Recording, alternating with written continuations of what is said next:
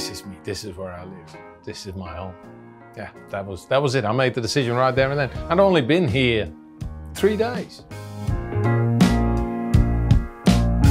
What I miss about the Netherlands, well, look, I actually enjoy myself wherever I am.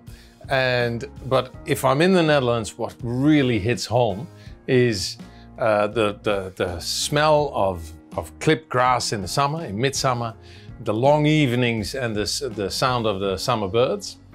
Uh, and the fact that you can walk anywhere, that it's familiar, I, it's just where you're born. It's good fun.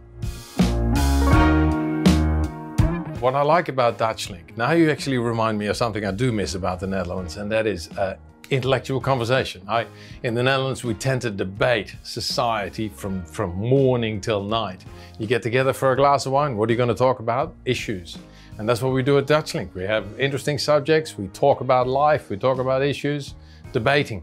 Really enjoy it. The connection with people, community.